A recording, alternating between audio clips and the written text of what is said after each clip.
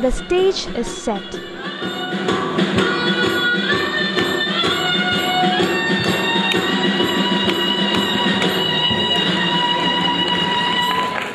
Charlemagne's minister Ganelon is waging a war against the Turks.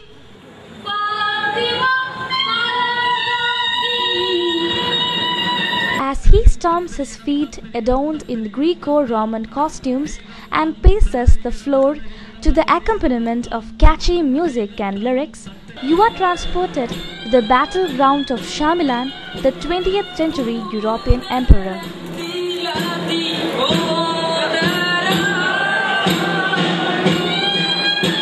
You may mistake this art form for an opera or drama of the European country, but in fact, it's Chavittu Nadakam, a drama which is indigenous to Kerala, God's own country.